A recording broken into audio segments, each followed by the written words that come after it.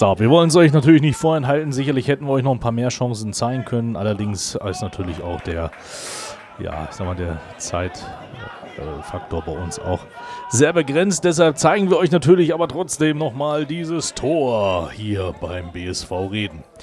So, da kam ein Einwurf von Hot auf Diouf. Der spielt zurück auf Hot. Hot sieht dann Golombek.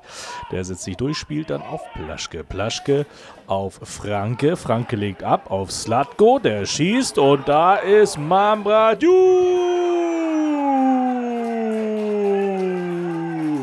Goal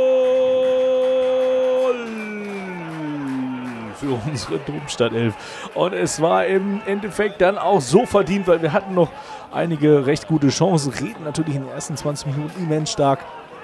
Aber dann hatten wir endlich mal das Glück auf unserer Seite. Hier, Mandic kann den Ball nicht festhalten und Diouf schaltet halt wie ein Stürmer. Springt da rein und mit dem großen Zehennagel haut er das Ding über die Linie. Ja, war super. Also eine klasse Mannschaftsleistung. Sicherlich auch, wie gesagt, wir haben noch all die etlichen Konterchancen gehabt auf den schwer zu bespielbaren Boden, aber nicht gut ausgespielt. Aber jetzt Freunde der Sonne und der Domstadt am kommenden Samstag heißt es nur ab ins Friedrich-Ebert-Stadion. 5.11. 14.30 Derby daheim gegen den TSV Havelse. Wir erinnern uns ans letzte Jahr. Eieiei, 94 Minuten haben wir 2-1 da gewonnen. Dome Frank hat es gemacht. Das wollen wir nochmal sehen. Also, auf ins Stadion.